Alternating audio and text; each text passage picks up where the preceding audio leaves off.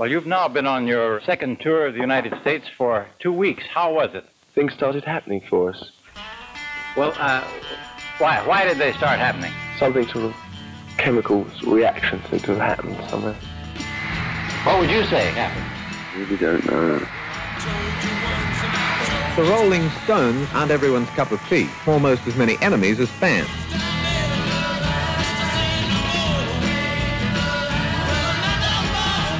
And the Beatles got the white hat. What's left?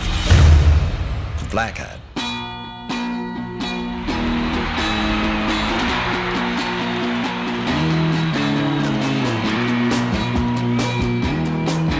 So if you've got heroes, you've got an anti-hero.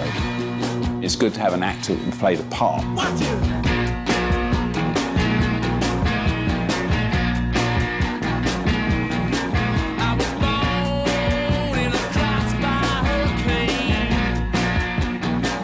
It's almost a fairy story?